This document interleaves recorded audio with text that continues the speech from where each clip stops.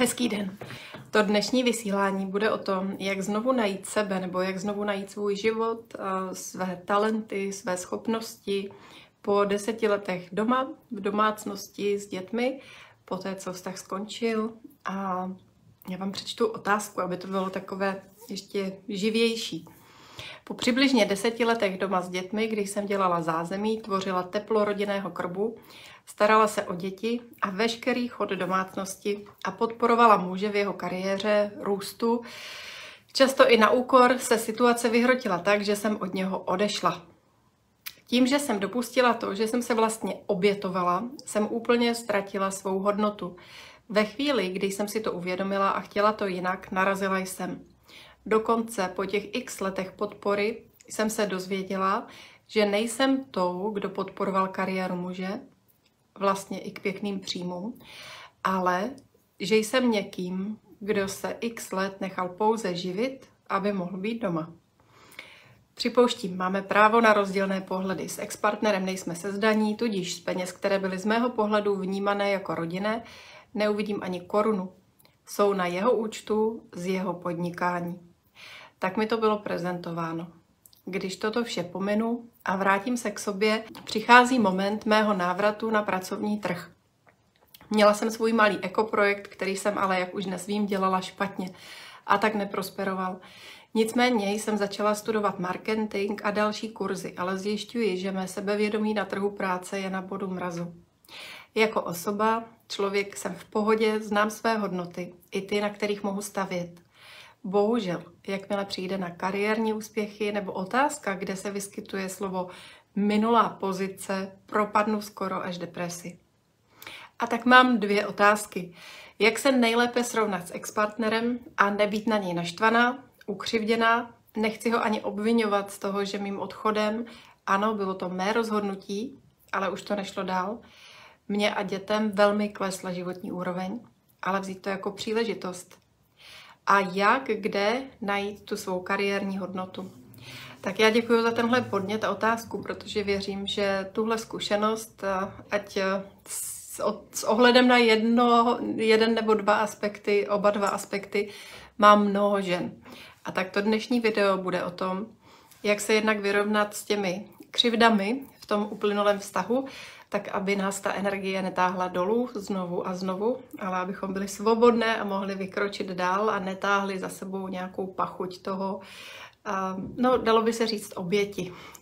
A za druhé, jak, já bych to nazvala, jak si vybudovat znovu ten svůj život. A nejenom, já, já myslím, že to je širší otázka, že to není jenom o práci, o kariéře, i když tak je to v otázce položeno, ale jak vůbec znovu objevit sebe, včetně té kariérní oblasti. A tak k tomu prvnímu. Jak se vypořádat s tou křivdou vůči muži? Ty pocity, které tam jsou, jsou naprosto pochopitelné.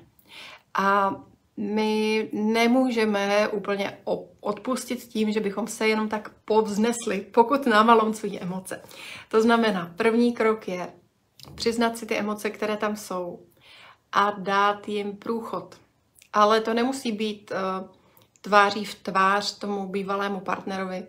Na to si můžeme najít sami nějaké místo, kde uh, to ze sebe vypíšeme, vybrečíme, vykřičíme, vynadáváme, ale je tam nesmírně důležité to, že to jde zevnitř ven. Vědomým, cíleným způsobem. Jo, je to taková Vědomá akce, vědomý prožitek za účelem uvolnění té frustrace, bolesti, vzteku, protože dokud to v nás je, tak my si můžeme říkat horem dolem a snažit se na to povznést, snažit se to pochopit, snažit se tím netrápit, ale oni ty emoce mají svůj fyzický projev a my potřebujeme, aby tělo vyjádřilo, co prožívá, a nebo abychom to minimálně ze sebe vypsali, vykřičeli a vynadávali. Tak to je takový první krok. Jo? A pak je druhý krok. A tam bych se dívala i na to, co všechno mi ten vztah dal. Ale on nejde dost dobře udělat, dokud v nás vězí ta první věc. Proto je důležité napřed to vyčítání, nadávání, křičení, ale opravdu myslím to jako samostatný mm, projev, jo? někde za zavřenými dveřmi, v klidu, eh, nebo někam si odjet autem a vykřičet se v autě daleko od lidí, tam, kde nikoho nebude rušit ten zvuk, tak aby tam byla opravdu ta svoboda se vyjádřit. A když přijde taková určitá úleva z toho všeho, tak ten druhý krok je i uznat, co všechno bylo v tom vztahu dobré. Tak nepochybně se tam stala spousta nádherných věcí, nepochybně tak jako ty si obdarovávala toho partnera svou péčí, podporou, tak on zase obdarovával tebe přece jenom. I když teď máš pocit, že to bylo jednostrané, ale když se na to podíváš, tak určitě najdeš spoustu věcí, kterými on byl přínosem do tvého života. A to je také důležité si uvědomit a poděkovat za to. A to jsou takové důležité kroky k tomu, aby se ten vztah mohl nějakým způsobem uzavřít. Jo, ten třetí krok bych pak mohla popsat jako takové přetínání těch pout a, a uzavírání toho vztahu s tím, že to chce svůj čas. Já nevím, jak moc je to čerstvé, jestli je to pár týdnů nebo pár měsíců. A každopádně je důležité uznat, že ono to chce svůj čas, že to je takové postupné oddělování, vykořeňování z toho, co bylo těch uplynulých deset let. Co se týká těchto kroků a dalších, tak na to mám zaměřený kurz pro ženy, který probíhá právě teď a už jenom do čtvrtka, 24.3. v době, kdy natáčím tohle video, je možné se do něj přihlásit a tak to bych ti vřele doporučila. Ten kurz se jmenuje Láska je tvůj zdroj ve vztahu a jedno z témat je právě i ukončování vztahu s tím bývalým partnerem, a aby se to uzavřelo, aby se to zharmonizovalo, aby to pro tebe nebylo jako taková ta těžká koule u nohy.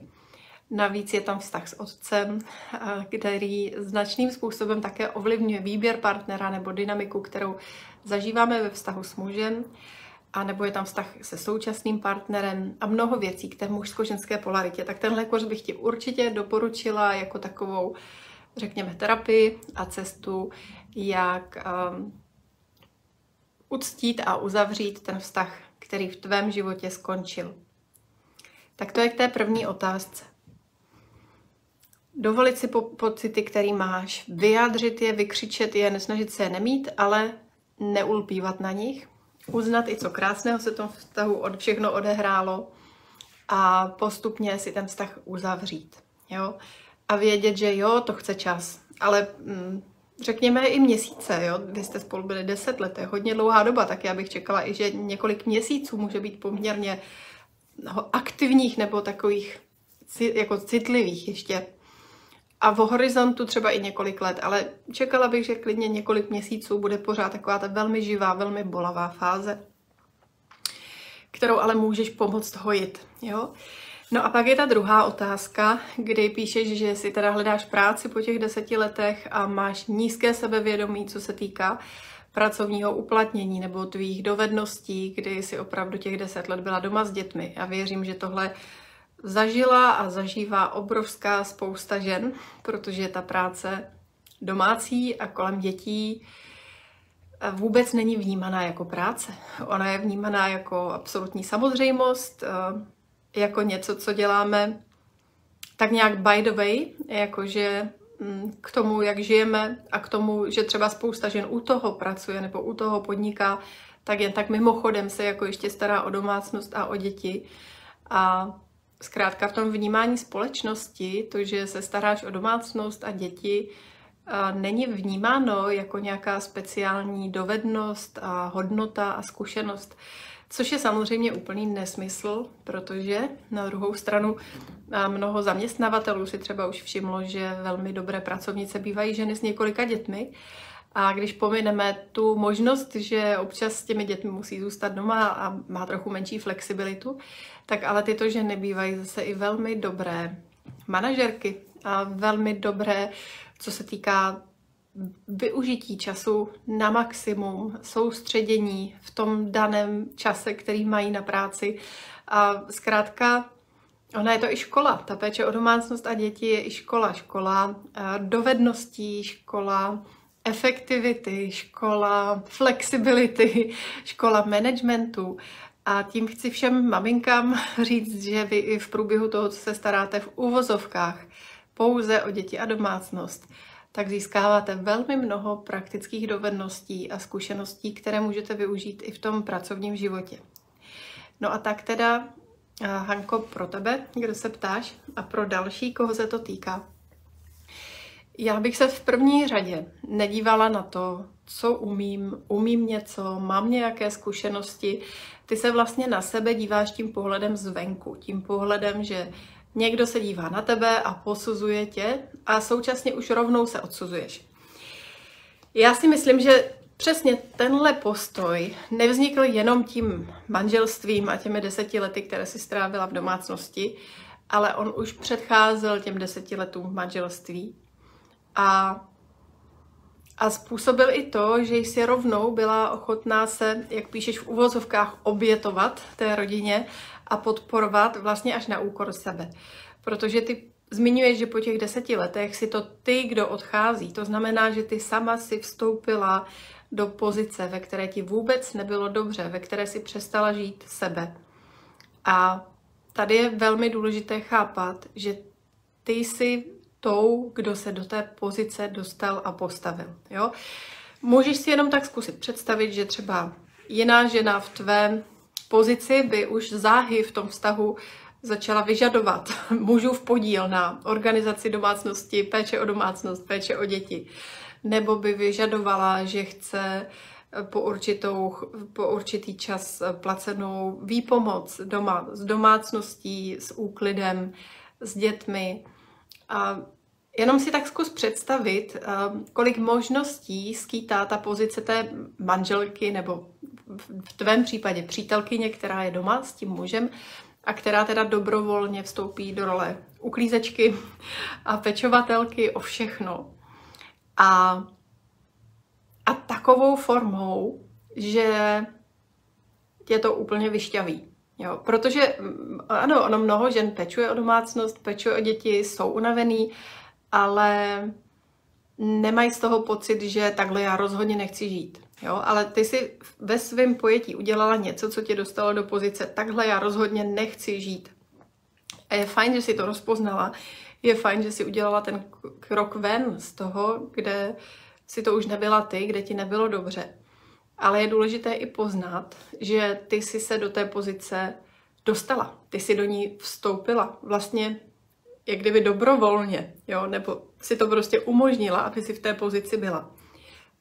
A tak já bych si dávala pozor, abych se neob... na tvém místě, abych se nedostala do podobné pozice v té práci. Protože už to, jak popisuješ, že si hledáš práci, kdy máš pocit, já nemám kariérní úspěch za sebou, a nemám vlastně nic, co bych, čím bych se mohla prokázat, co bych mohla dokázat.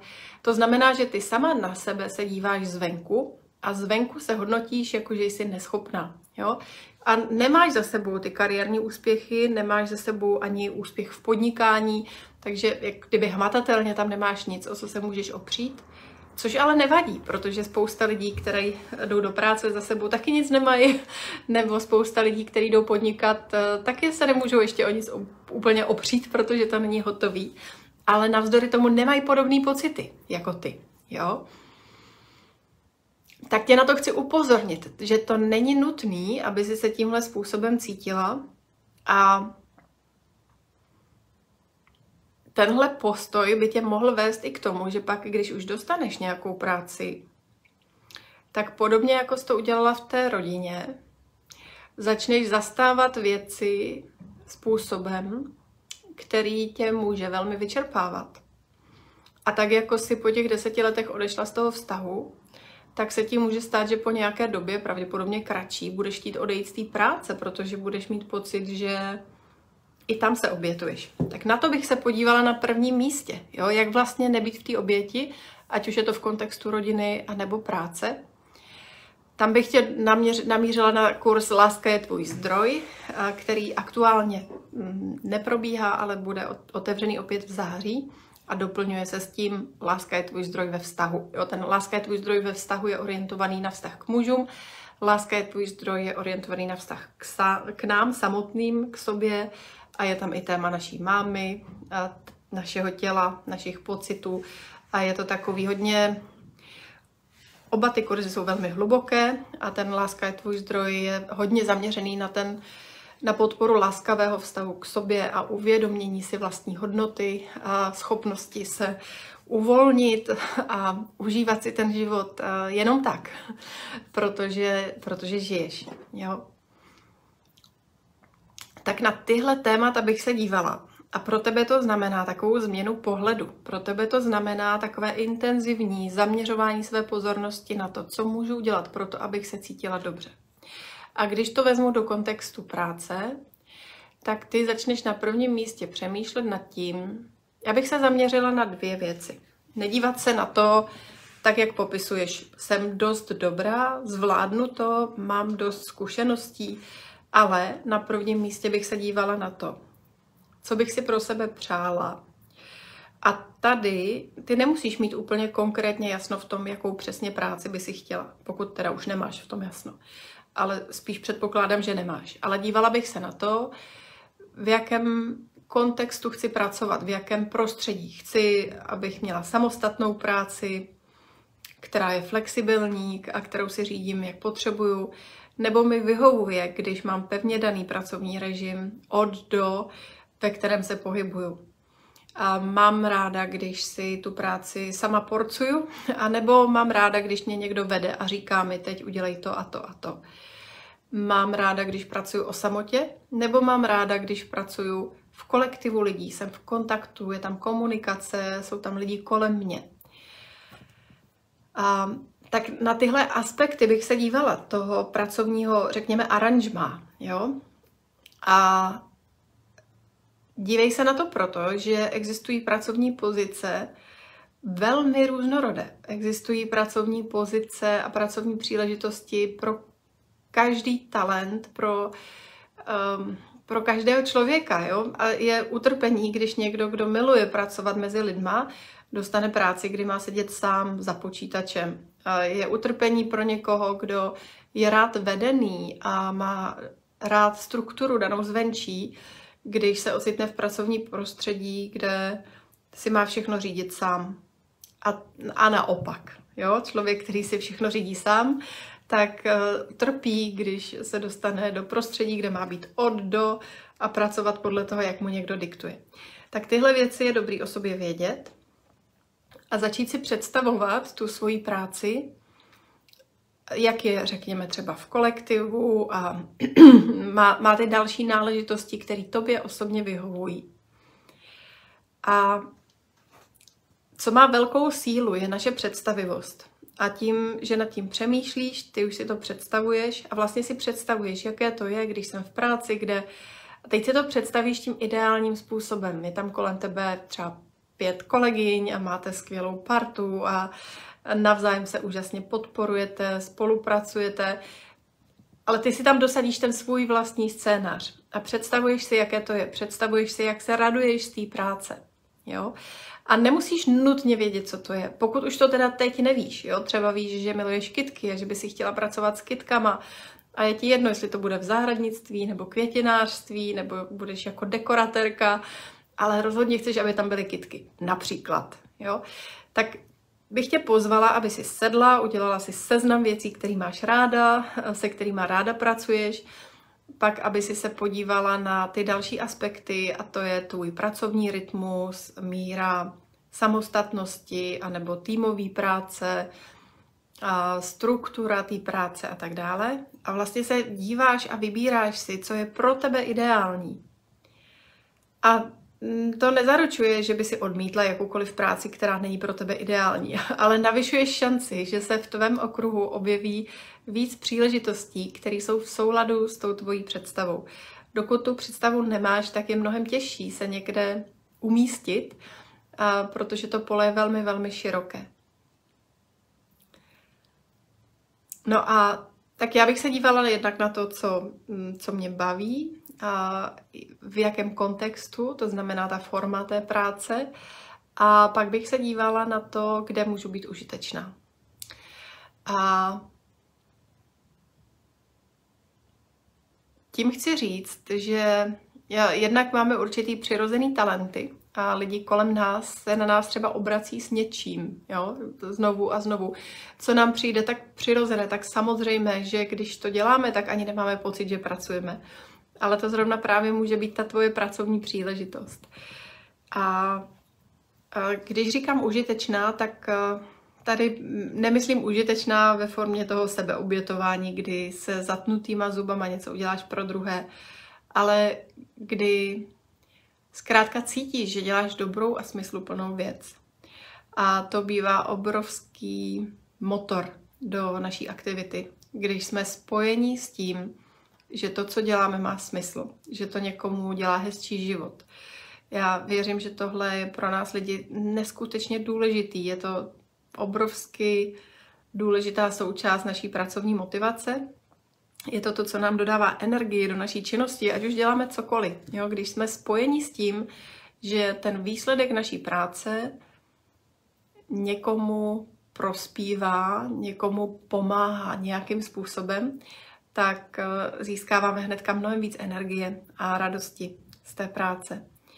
A tak bych se podívala i na to, kde můžeš být užitečná v tom nejlepším slova smyslu. A když se dívám na to, kde můžu být užitečná, komu můžu jak kde pomoci, tak jsi najednou v úplně jiné perspektivě, než když si kladeš otázky typu jsem dost dobrá, zvládnu to, mám dost zkušeností, jo. Najednou tě vlastně může přitáhnout to, že jsi někde potřeba, že tam můžeš být užitečná. A pro tebe je tím pádem velmi důležité, aby si z otázky kolem práce a svého pracovního uplatnění pokládala úplně jiným způsobem, než si to dělala doteď. Ne v tom smyslu, jestli to zvládneš, ne v tom smyslu, jestli tě vyhodnotí jako někoho, kdo má patřičnou zkušenost, ale dívat se na to tak, asi. Díváš se na to tak, že si najdeš pracovní pozici, kde můžeš přinášet užitek a současně se díváš na to, aby to pokud možno mělo co nejvíc náležitostí z toho, kde je tvoje flow, kde jsi ve svém živlu. Ať už je to týmové prostředí, anebo solo prostředí, ať už je to strukturované, anebo naopak velmi kreativní a podobně. Tak já doufám, že tohle je užitečné. Kdybych měla k tomu poslednímu tématu doplnit ještě nějakou inspiraci, tak bych zase z toho, co já nabízím, doporučila kurz Jak žít své sny, který je zaměřený na to, jak prožít, najít, definovat a naplnit to, co nám v našem životě dává smysl. Ať už se to týká té pracovní oblasti a pracovního naplnění, nebo vztahu, nebo místa k životu a, a cokoliv, po čem v našem životě toužíme. Jak žít své sny, online kurz, který je zaměřený na to najít a naplnit svá hluboká přání. Najít i to spojení s naším srdcem. Tak já doufám, že to, co jste slyšeli, pro vás bylo užitečné, že si z toho odnášíte inspiraci do svého života. A děkuji předem za sdílení, pokud budete chtít tohle video sdílet.